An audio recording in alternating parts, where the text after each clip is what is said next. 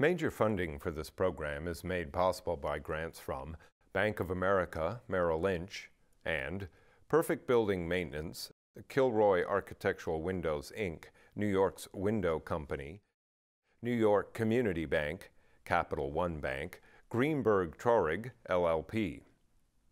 Additional funding is provided by grants from Briarwood Organization, Beechwood Organization, C.B. Richard Ellis, Cushman and Wakefield, Dime Savings Bank of Williamsburg, Hal Fetner, Durst Fetner Residential, First American Title Insurance Company of New York, Friedman, LLP, Gemini Real Estate Advisors, LLC, Jack Jaffa and Associates, Real Estate Consultants, James D. Kuhn Real Estate Institute at Syracuse University, Madison Realty Capital, Massey Knakal Realty Services, Markham LLP, Marcus and Millichap, Margolin Weiner and Evans LLP, M&T Bank, Meridian Capital Group, the Moynihan Group, Newmark Knight Frank, Orphanides and Associates, SJP Properties, Sterling and Sterling, Stonehenge Partners, Urban American,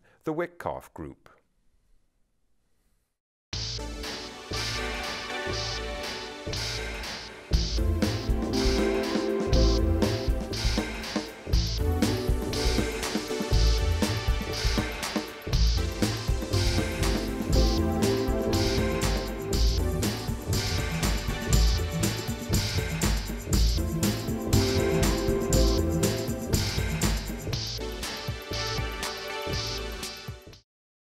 Hello, my name is Michael Stoler. New York City has such interesting and unique characters, or individuals, or whatever you really want to say. But you know, in New York City, there people love eating at restaurants, and there are some great restaurants, and there are people who have created the the concept of these restaurants. You know, Brooklyn Diner, Bond 45, Trattoria, Fiorello. Today, I have a legendary restaurateur. Thank God he doesn't cook. But a wonderful guy by the name of Shelley Fireman, the chairman CEO of the Fireman Fireman Hospitality Oh, Group. Thank you for being here today. Red Eye Grill I- I and didn't- Shelley. I I- mean, I met- figure- if we're going to talk about my whole all my children, Uh, okay, all your children. so all your children. You were born in the, the Bronx, I believe. I believe so. That, that's what my parents told me. Now, now, the, you know, the interesting thing of being born in the Bronx, and I remember I was born in Brooklyn, and then I lived in the Gravesend neighborhood. There was the, El, the, the there was the train, the McDonald Avenue train for me, but you had the Jerome Avenue train. Yes, and I could touch it if I leaned out the window with my 35-inch arm or something. So you were able to also at that time. Uh, it was very good. You never I knew. heard it and touched it It was always every ten, every twelve minutes. You heard the train. every 12 minutes. Now, your dad, let him rest in peace. You said to me, was in the garment center. He Yes. was a Marker, a marker a grader, grader, and a cutter. and a cutter, and mom was a housewife. And when when you were going to public school, you, you know you even went to work with your dad, right, in the garment I worked on the cutting on table. the, on the cutting table, and you learned Stretch. That's that. I only stretch. He wouldn't let me use that rotating blade. You could hurt yourself. But he let you stretch the, uh, the Measure it and cut and, And cut, cut. individual samples, And- which I still like today to use his cutting shears. It relaxes me. It's Ah. very interesting what happens. Is that how we cook? no, no, no, not no. But I'm So you know, when you're in high, when you're in public school and high school, you know, some people have, you know, you, you were in the garment center. you sold uh, magazines. I sold magazines, vacuum cleaners, advertising space,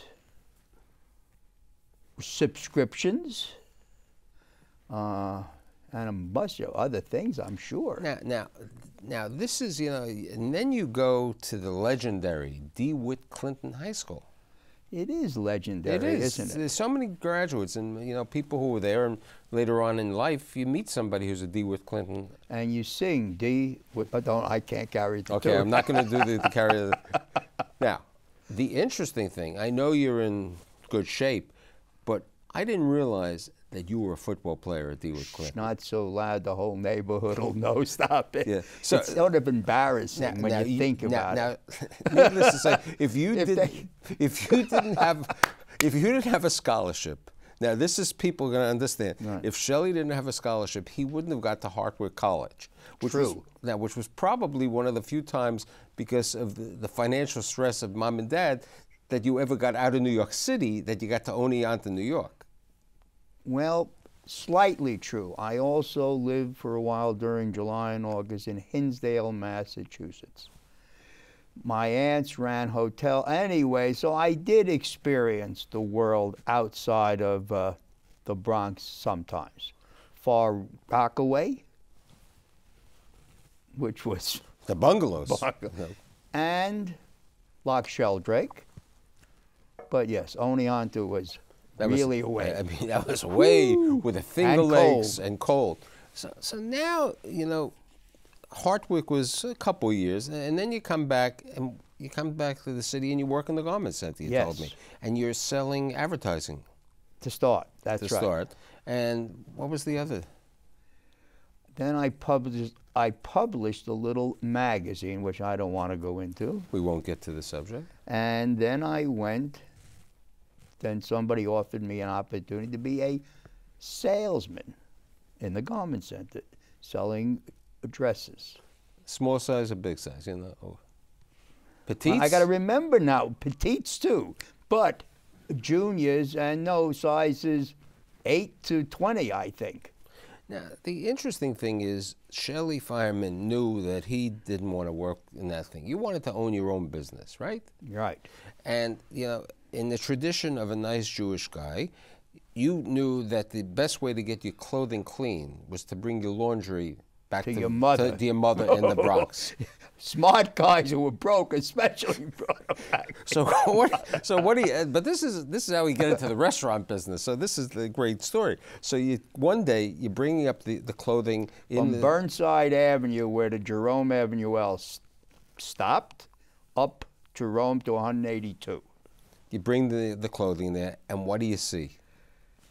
An empty lot and a glass building, which I walk close and I see a piece of machinery making and stirring and cooking bagels. Bagels. But they used to be in the basement by the pool room.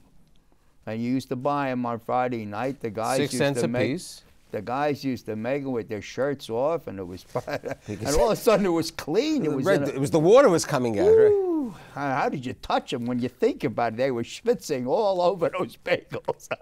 So you see this. and I say, there's something going to be. The bagel has a future. I'm serious. Bagel.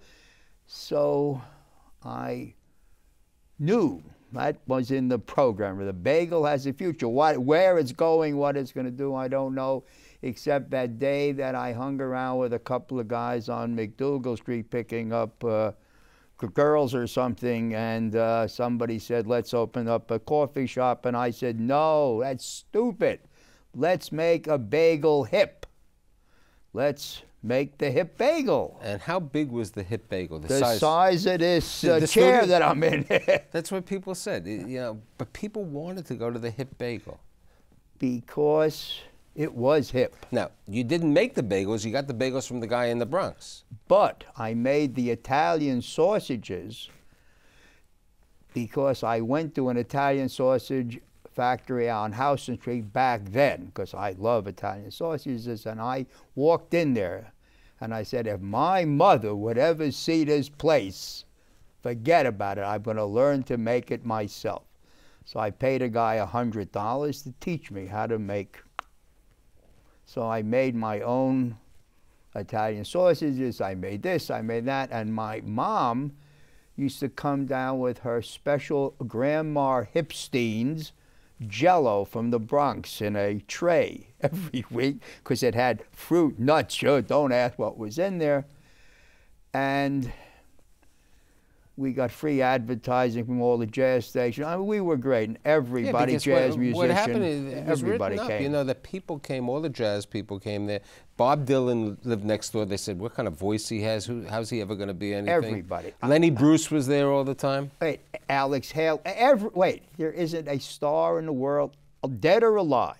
Bill Cosby used to. Everybody was Now, there. but the interesting thing is, Woody Allen loved it so much that in the movie Play It Again, Sam, he, he even he writes the story. He he no he, he's appearing. He- He tells the story about the woman. He says, "I used to go into the Hip Bagel. I used to uh, give this waitress an extra tip because I really wanted to be with her." And I mean, this was you know it's in It everything. You, you, if you Google Hip Bagel, uh, Hip Bagel, they they have this over there.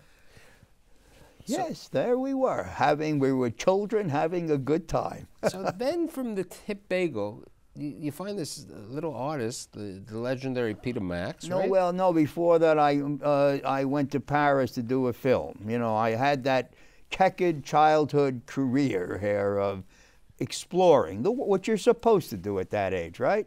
When do you stop exploring? I'm still exploring, so I don't. That's Explore, we- always, we- we don't let's talk- always explore. But anyways, so in between, we we try to be, you know, we try to do things, and.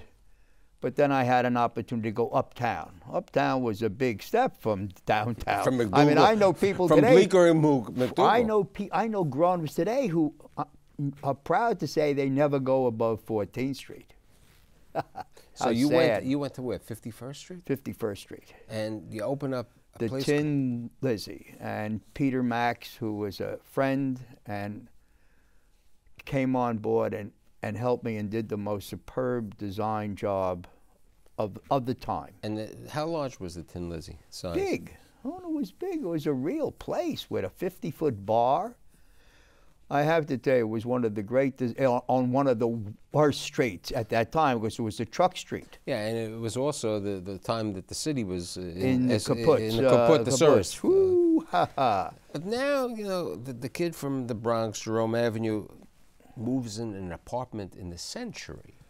I mean, Wait Central. Park. Wait a minute. We were brought up to strive. I mean, uh, I'm not- I'm not it's not a. I'm not a bad person. I, I didn't say. I didn't say. So, so, so, so, so you moved to the and it was great for the girls. I mean, I had a wait, a minute, I had a bachelor apartment with a terrace overlooking the park. what could you want more? Wow. Now, so what happens, and that was not a good neighborhood.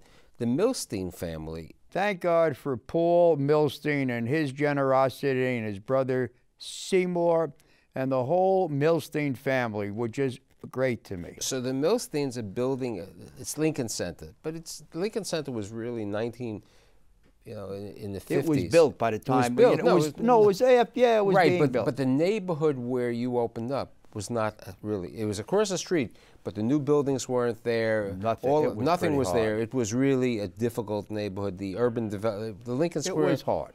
development. You, so you found this store. What happened there? I- He's building this 45-story Well, it, rental I, building. I wanted the location because I felt I just did my numbers. Remember, I learned the restaurant business at the public library. So one thing I owe- I knew those numbers. Forget about the ideas; that's easy, but there is numbers involved, and uh, so I knew that that location would was good today, at least to break even. the deli was was the deli there at that Nothing. time. There was one French bistro came in before me. He didn't succeed. There was nothing. Wait a minute. When I there were, I don't think there were two. There was one. Paul Milstein worked very hard. That Milstein family worked very hard to merchandise and develop that property. so you Ooh, go with your business plan to Paul Milstein. for a year. God bless Paul Milstein for one year because I don't blame him. He wanted a big company who could sign He didn't real want the- he name, a want- real He, name. he on didn't want the hip bagel or Tin Lizzie. He He didn't want Shelley Fireman. He wanted Restaurant Associates. He wanted. He wanted, but So what happens finally?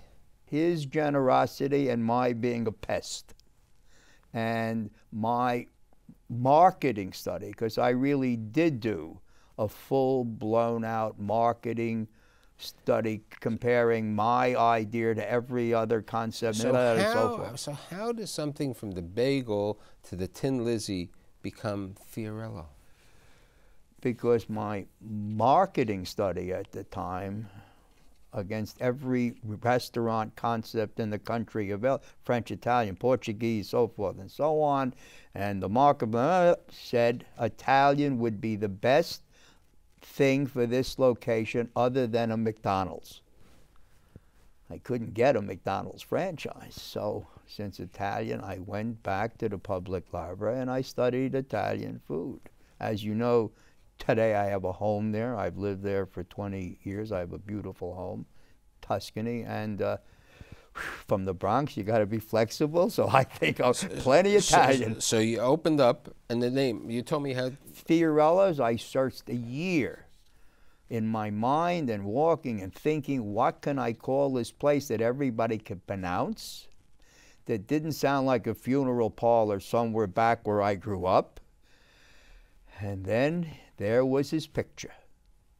Fiorello's LaGuardia, everybody could pronounce you it. felt there he was a Broadway show. Wait, in, addition, you know, he was half Jewish, so, you know. I you yeah, well, that I always knew. That. Every Jew has that. Oh, he's part. At least he, Okay. he's part. He had a part. So, but you told me an interesting thing. Thank God also, besides Paul helping you out in the location, the electric company helped you out also, The right? electric, shh, they can go after me. Is there interest on that debt? you want to hear that story? No. Well, it's an interest.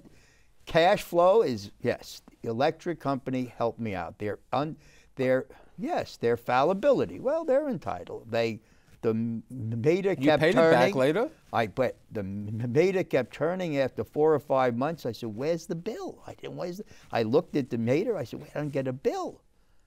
Now either you call them, or you know you're going to pay anyways. But let them call you. If there's bad news, let them find you.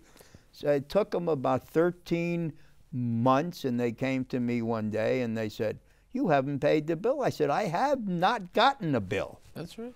Give me the bill, I'll pay it, but I need another 10 months to pay it. But it was great cash flow. oh, So then, but, but then you decide to go to the east side, Third Avenue. Yes, What happened? fallibility. Ooh, imperfect human being. Uh, and the subway that's never been built, the construction that was going on, the streets that were closed, and the fact that I forgot my rule two meal periods a day, one to break even and one to earn a profit. And that's what the east side And fails. the east side gives you one meal a day, and everything else, oh, oh and they go away July and August to the Hamptons, and uh, ooh, and uh, the So then you get really smart, right? Yes. You say, where can I get lunch, pre-theater, theater, after theater? You go and you said, you know, look, you probably always Carnegie Hall. You know, I remember once I sat on the stage because I was on the board of NYU Medical Center. When could I ever be on the stage at Carnegie Hall? So you're across the street from Carnegie Hall. yes, because when I was 16, I used to come down from the Bronx for 50 cents. You could sit in the balcony on Sunday, listen to the most beautiful music, or on Girls Galore. You want to pick up girls on a Sunday? Let's get back to the let's get back the Carnegie Let's, Hall. let's get back to the rent. So, So there, but I knew Carnegie. I knew the neighborhood, and So- I knew what, and the rent was enormous, which is a blessing sometimes because if you're given an, if because you've got those meal periods, and you're given a percentage rent so you could sleep and eat. I just knew what we would do, and we did. So that's the first year- Trattoria. the Trattoria, and the Trattoria's got another 20, 30 years to go. It's been there. I made a 40 year deal, and um, And you opened that in 1989. yep. And then the Trattoria is on, on 56, it's really between 56 and 57th Right. Street uh, in a landmark building. And next to it is 888 7th Avenue, which at one time had an OTB and a Chinese. We don't know. we we're still trying to figure it out. we know there was an OTB. and it was a Chinese, but we don't know because they sold figurines. They had giant space and a lot of terrain, So- terrains so- with blue and so white. How from another? How did it become Red Eye Grill? Uh, I, mean, I like wanted to compete with those guys that own Trattoria, so I like a skits. You know, you have to compete. So I, I know, I obviously I'm not going to do Italian. So I, it was just reasonably sane to say all my guests fly every week or every other week to Hollywood on the red eye back and forth. So we'll take a combination of Italian food and I mean oh, Italian. Where I'm the I fish, got so many fish. Italian restaurants. I forgot. So we'll take California food and New York food, and we'll give them real food, and it'll compete with that Italian next door, who's me, And and then there was this little space on the other side of the property. which the landlord asked me to take, and I said, "What am I going to do with this? It's so tiny." okay, I wanted to be a nice guy. They were very nice to me. So I said, okay, now what am I going to build there? The Bronx Diner doesn't sound as good as The your Brooklyn hometown, Diner. right? So you open up this little Brooklyn diner. Because the word Brooklyn makes everybody smile. Every, even every time you say it, you Bronx, I don't know, but Brooklyn. So you, you like that neighborhood. So later on in life, you, you, you go down. There's an automat. Yes. I mean, the the I legendary. wish it was an automat. Yes. It was, a, I don't know what it was, a few no, other no, it was an right. automat. Then it was the Motown Grill or whatever. I every- yes. but uh, we, you and I remember it as yes. an automat. We remember it. And the automat, you open up, and it was a two-level thing, three levels. Three, beautiful. four, actually, the basement, one, two, three, four. It's a great place, and you open up Shelley's, Right. and that does great. Great. And you got even you got even luckier because somebody bought you out of the lease. Absolutely.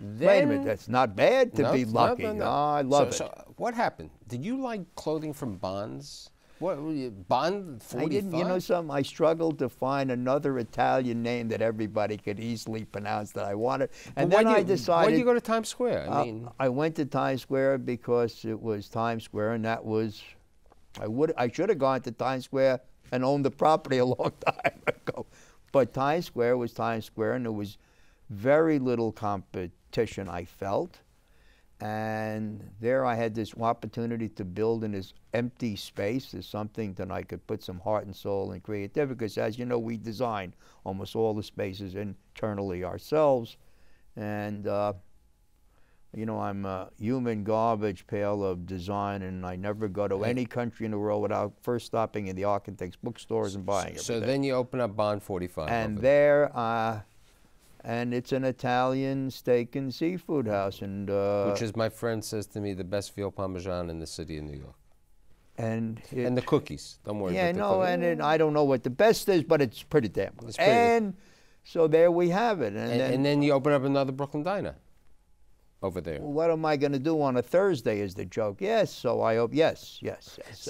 no, no, no, wait. So, so some people, you know, they say, "Look, I got this restaurant. We'll forget about." Some people the, are really smart. Yeah, they but- say this restaurant, I'm going we're, home. we're, we're, we're, not going to get out to, to- Don't get- to- yes. We're not going to fortune of country. We're, we're going to forget about that. We don't. What? That that what? was. what? I don't even hear that. But, but wait a second. I mean, you like being on Carnegie Hall. You like being living near this. What do you know about Baltimore? it's not Baltimore. It's Oh, on the Potomac. It's on the Potomac. I mean, you could you could um, canoe on the Potomac. Could- so, so Shelley is now in the Potomac, right? Shelley is now on the Potomac with Bond 45, which I will say is because I'm the only steakhouse on the Potomac. That opened about the end of January, which I, Right, which and- you and I are gonna, you're gonna take me down there. I'm I'm gonna gonna go take see you, that. and it's really really successful, and it's nice being the only.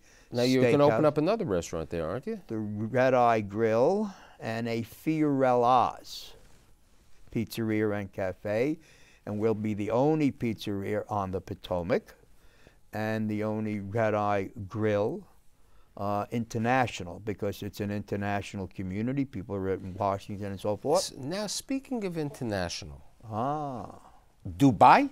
Dubai. Wait, is that how you pronounce it? I'm not sure. Uh, I, I mean, w- wait a second. The kid from the Bronx to go to Dubai? Remember, in America, you got to be flexible. I agree. So now you, you're opening up a Brooklyn diner in Dubai. In by August, I, we're going to be open. I don't believe it, but we're going to be open by August. And my partners there are from Bahrain, and they are very sweet, wonderful people. I've entertained them, and So I have a question. Why only a Brooklyn diner? I, I can understand well, that way, that. here's what we made the deal. Let's let's get the Brooklyn Diner open. Let it be successful because it's not easy to get licenses there with alcohol. We're next to the Intercontinental Hotel, so we're very fortunate. And most of our places require alcohol, and it's not easy. And our partners over there, uh, while they sell food to the hotels because they're in the food manufacturing and supermarket business, those are not easy licenses to come by. So as soon as we get others, we'll build a steakhouse there. I'll build Bond there. I'll build the Red Eye Grill International there. So we're looking forward, and they have my partners there have locations in India. And my son's old girlfriend now lives in India, so we're wide. Speaking we're you- wide. Okay, we got to get. To, we got about two minutes left. You got. You're, you're married to Marilyn. Thank God. Thank God for Marilyn. Thank God. And thank God For- for, for- his- for, for- my Jo- son who doesn't cause me any. Y- Your son John, who now is the night manager in. Uh, As of next week, he's the day manager, I think. wait a second. You're letting him work days? Don't. So- if so- he can get up, I don't wait a know. No, but you, you, you see, you went to Hartwick for one year. He went to he went to Yale. He went to Yale. Well, wait, that's mean- progress. My father went to Evander Childs, I think. No, so so and, and so and John's helped you out. I remember a number of years yes, ago. he's and my son also has an MBA from a Stern, yeah. and he and he likes the film business too. He likes the he likes yes he's yeah he likes Just like his father. like his father. What, you remember? Well, I I said like I know even though like his father.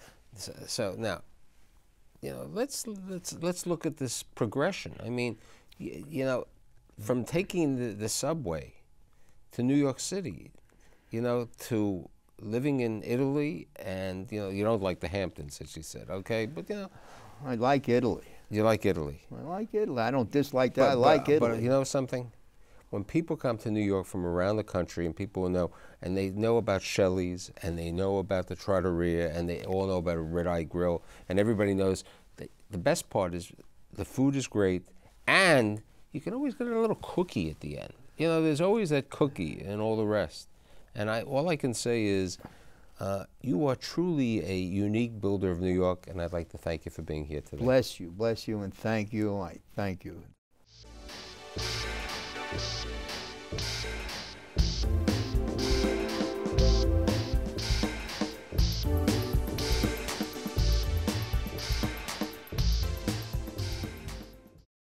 Major funding for this program is made possible by grants from Bank of America, Merrill Lynch, and Perfect Building Maintenance, Kilroy Architectural Windows, Inc., New York's window company, New York Community Bank, Capital One Bank, Greenberg Traurig, LLP. Additional funding is provided by grants from Briarwood Organization, Beechwood Organization, C.B. Richard Ellis, Cushman and Wakefield, Dime Savings Bank of Williamsburg, Hal Fetner, Durst Fetner Residential, First American Title Insurance Company of New York, Friedman, LLP, Gemini Real Estate Advisors, LLC, Jack Jaffa and Associates, Real Estate Consultants, James D. Kuhn Real Estate Institute at Syracuse University, Madison Realty Capital, Massey Knakal Realty Services, Markham LLP, Marcus and Millichap, Margolin Weiner and Evans LLP, M&T Bank, Meridian Capital Group, The Moynihan Group, Newmark Knight Frank, Orphanides and Associates, SJP Properties, Sterling and Sterling, Stonehenge Partners, Urban American, The Witkoff Group.